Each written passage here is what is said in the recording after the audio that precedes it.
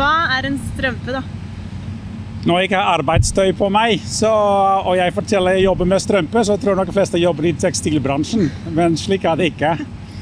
Eh, men en strømpe forklarer jeg ofte som et flatpakka rør som vi trekker inn i ledningen. Eh, blir trykksatt med luft, slik at han legger seg helt ut til eksisterende ledningsvegg. Eh, deretter drar vi gjennom et lysstokk med UV-lamper, som sørger for at det blir utherda. Noen samme prinsipp som egentlig tannlegen bruker når du skal få en fylling i jekselen din.